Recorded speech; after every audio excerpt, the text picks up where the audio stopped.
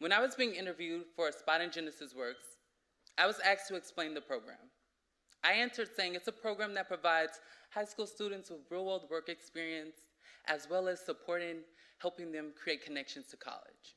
Yes, that much is true, but after finding my place in the Genesys Works family, I now realize that it is so much more. Before Genesys Works, I thought that I could only be myself in certain environments.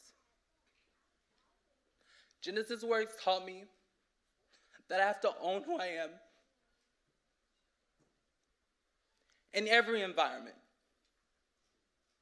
I am transgender. I am an intern at Salesforce. I will go to college. I have broken through, and I will continue to break through any barriers that come my way. Thank you.